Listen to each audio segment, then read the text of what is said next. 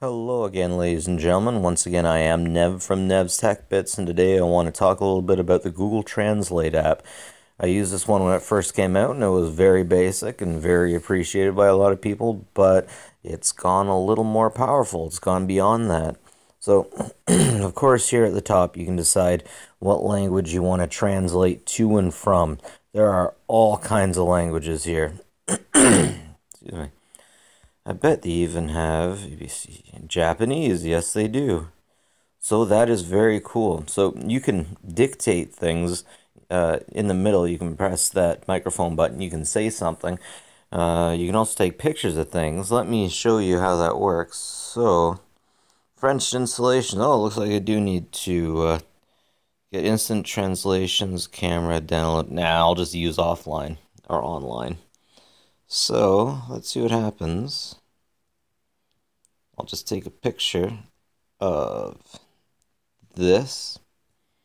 So I got French here on the side of my cereal box. Since I'm in Canada, of course, everything needs to be uh, in French and English. So I got little boxes around all the words, and I just highlight with my finger the ones that I want to translate. And here it'll show me in English, those French words mean Canada's Food Guide recommends that adult eat six to eight servings of cereal product each day, including yada yada yada, whole grain, so on and so forth. Okay, right on. So yeah, it's that easy. You can just you can just take a picture of something and away you go. Let's see what these squiggly lines do. Oh, you can actually write in. Um, let's see a French word. Of course, now that I have to think of one, I can't. So let's go to English to French. And let's see. E L L O. Hello. Bonjour.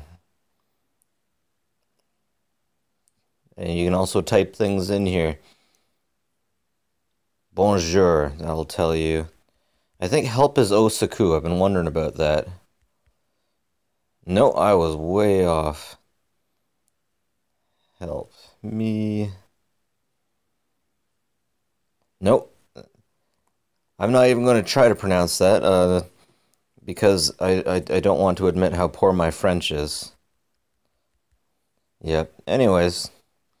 So yeah, you can you can take a picture of the word by highlighting it. Take a picture, highlight, and get it. Oh, you know what? Let's try the microphone. Tap the mic to start speaking. Hello, how are you?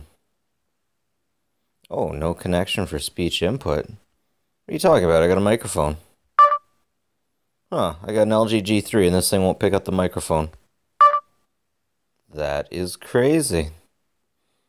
Okay, so I won't worry about that right now. Oh, and yet your history at the bottom. So yeah, if you're traveling around and you have data, even if you don't have data, I would wholeheartedly recommend this. This is an absolutely free app provided by Google. Great for when you're traveling, great for just uh, talking to people. When I used to work out on the floor, uh, I knew maintenance men that talked with foreign maintenance men that we hired for special machines that use Google Translate. And it wasn't 100%, it wasn't great, but it was better than nothing, that's for sure.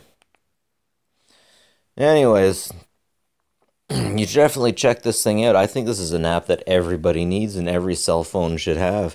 Uh, it could help you out in a pinch, that's for sure.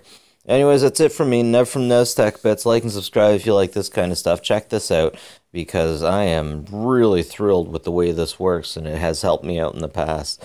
So, have a good one, guys. Catch you later.